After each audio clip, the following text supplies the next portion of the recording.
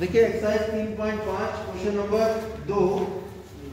ये सवाल इसलिए महत्वपूर्ण है कि इस तरह के सवाल एग्ज़ाम में काफ़ी पूछे जाते हैं। और एग्ज़ाम में सवाल पूछे जाते हैं, उनके पीछे कुछ ना कुछ मकसद होता है। समझिए? ए और बी के किन मानों ए और बी कहाँ है? पहले आप लिख दीजिए दूसरे का दो एक्स प्लस तीन वाई बराबर सात A minus X plus A plus B इसको इधर लेना है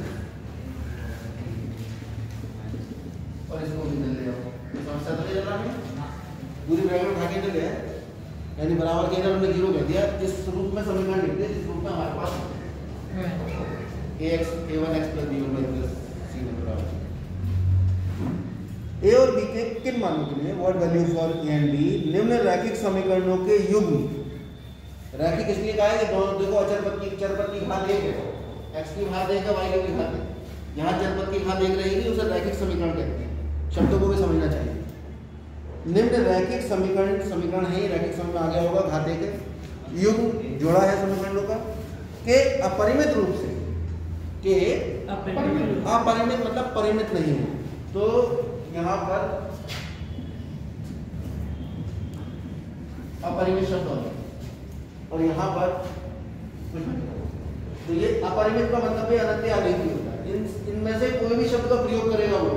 तो ये स्थिति आप प्रयोग करेंगे ये हमने यहाँ लिख दिया ना, कि इन समीकरणों का अगर आदित्य हल यानी केवल एक हल है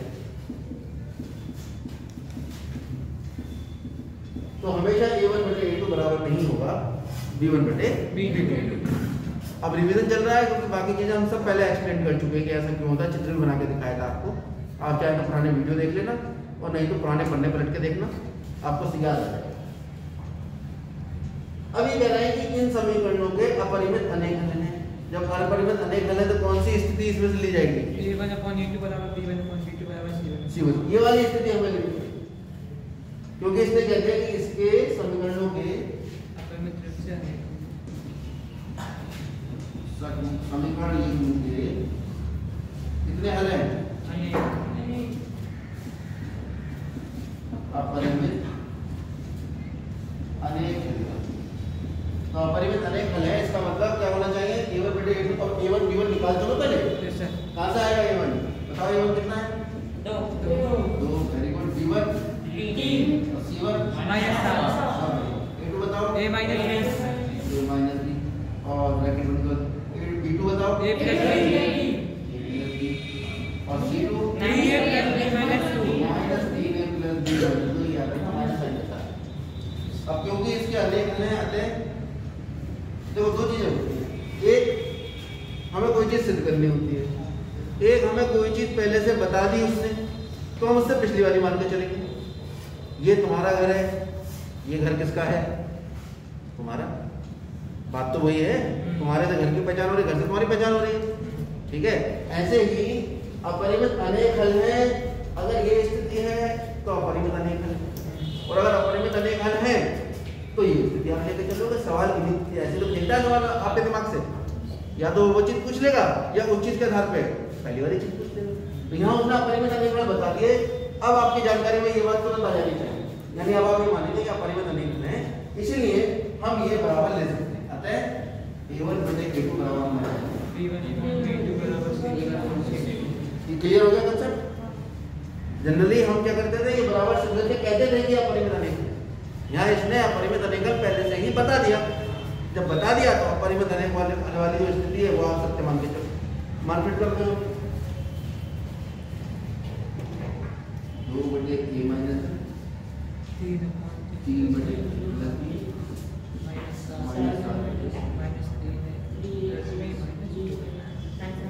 अब सवाल तो तभी हल होता है जब बाएँ पक्ष और दाएँ पक्ष हो। तो तीन बराबर है। बनाओ बाएँ पक्ष दाएँ पक्ष कैसे बनेंगे? जब भी तीन चीज़ें बराबर होती हैं, पहले दो को बराबर ले लो, बाद वाले दो को बराबर या पहली को दूसरी के बराबर ले लो, पहली को तीसरी के बराबर ले लो, दो समीकरण आ जाएगी। समझ आ रही है बात? तुम परेशान लग रहे हो बेटा, क्या बात? समझ आ रहा है?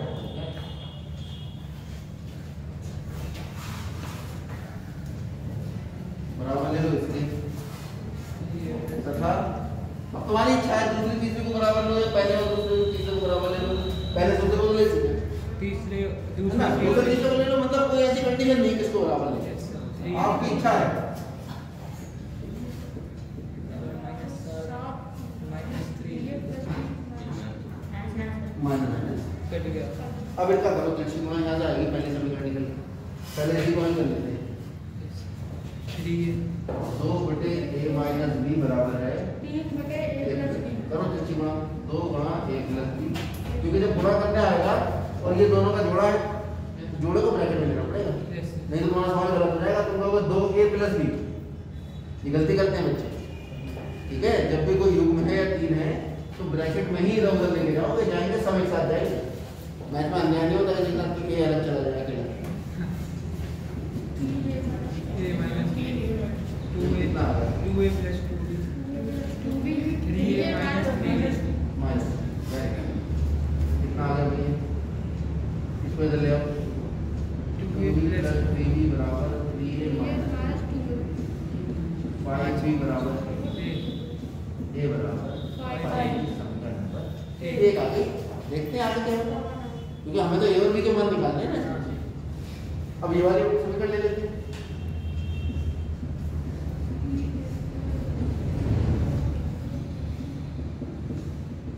करो अपने तीन है, तीन हो जाएँगे एक साथ। त्रिची गुणा ऊपर से नीचे गुणा three minus two now A plus three three B minus six छः सात ए प्लस सात बी नौ ए माइनस सात ए बराबर सात बी माइनस तीन बी प्लस छः कितना आ गया चार बी प्लस छः ये कितना आ गया सर आपने सी लिख हाँ सी छः की जगह पे देख रहा है। आज घर घर। तो दो ए बराबर फोर बी प्लस सिक्स अब ए का मान कितना है पाँच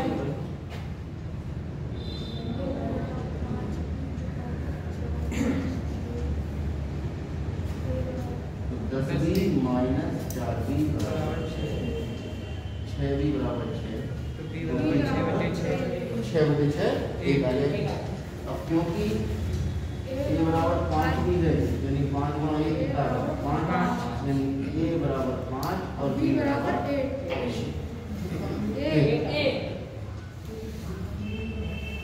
ये कब है ए बराबर पाँच और बी बराबर छः जब इस समीकरण के अनेक हल हैं। अपरिमित हल। और ये बताओ ये संगत होगा या संगत आगे बढ़ते हैं? अब थोड़ा सा आसान सवाल कर देते हैं। जैसे उदाहरण नंबर सोलह। किताब में देखो तो जैसे यहाँ पर ए और बी दो चीज़ें दे दी। तो फिर दो समीकरण बनी। उन दो को हमें हल करना पड़ा। ठीक है? ये तो आसानी से हल हो गई। हो सकता है बजीवन विधि लगानी पड़ जाती। ठीक है? लेकिन सवाल इससे आसान भी हो सकता है। कैसे? देखिए, ये वाला सवाल है, के के किस मान के लिए? उदाहरण नंबर सोलह है पेज सिक्सटी नाइन पर। के के किस मान के लिए? निम्न रैखिक समीकरण युग्म के अपरिमित अनेक हल होंगे समीकरण के प्लस माइनस के माइनस बराबर ज़ीरो बारह है। तीन वाई माइनस के अब यहाँ क्या कहा उसने? कि के के किस मान के लिए? इसके अपरिमित अनेक हल होंगे। तो अपरिमित है अनेक हल की स्थिति तो ये वाली। डायरेक्ट लगा दो। क्योंकि समीकरण युग्म के कितने हल है? अनेक। अनेक हल हैं अतः डायरेक्ट के बटे बारह बराबर होना चाहिए तीन बटे तीन बराबर होना चाहिए माइनस के माइनस तीन बटे के माइनस के बराबर जी और ज़ीरो क्यों क्योंकि स्थिति क्या होती है? ये होती है। ए वन बटे ए टू बराबर बी वन बटे बी टू बराबर सी वन बटे सी टू अब मैं तो बता चुका ना ए वन कैसे करते हैं हम बताएँगे। नहीं ए सर वन का मान के है। यस सर ए टू का मान बारह है ए बटे बारह तीन बटे तीन बराबर यहाँ से आप देखो के बटे बारह बराबर एक एक तीन बटे तीन। और एक बराबर माइनस के माइनस तीन बटे माइनस का के के से के के बराबर कितना आ गया? बारह में कितना आ गया? के बराबर के माइनस तीन, यानी के माइनस के बराबर माइनस तीन, यानी ज़ीरो बराबर माइनस तीन। ये स्थिति कैसी है? ज़ीरो माइनस तीन के बराबर कैसे हो जाएगा? तो उसको बराबर लेने से कोई लाभ नहीं है, आपके पास आंसर आ गया के बराबर तो के बराबर बारह लेंगे समीकरण के अनेक हल होंगे। कुछ गलत बता दिया क्या? हाँ ये अब तो कर दिया तो कर दिया। ठीक है, अब आप इसे उदाहरण मानो। अब आप एक सवाल मानो। चलिए, अब उदाहरण कर देते। हैं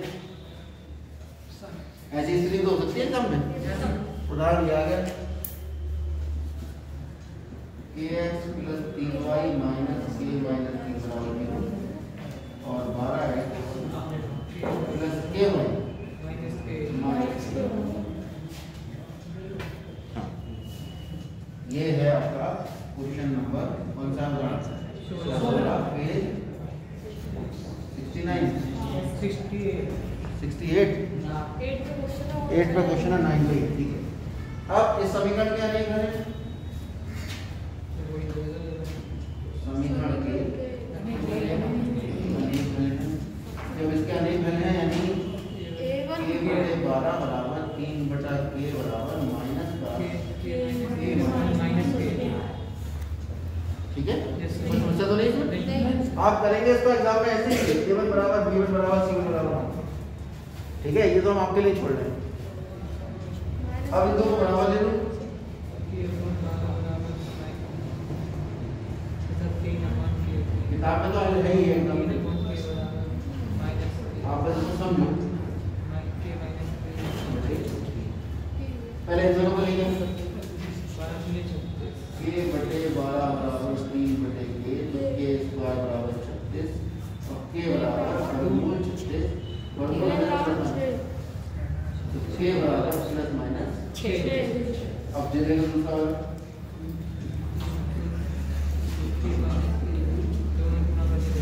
तीन के बराबर के गुणा के माइनस तीन माइनस तीन के तो ये आ गया ज़ीरो के स्क्वायर माइनस तीन के माइनस तीन के के स्क्वायर माइनस छः के उसके कॉमन ले लो कितना आ गया के माइनस छः ये कितना आ जाएगा या तो के बराबर ज़ीरो आ जाएगा या के माइनस छः बराबर ज़ीरो के बराबर ज़ीरो या के बराबर छः।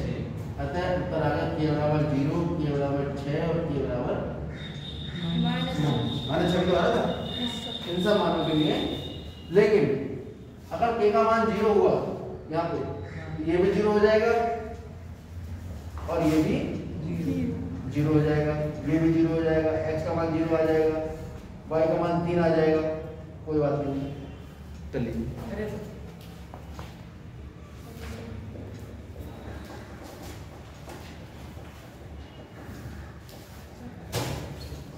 हाँ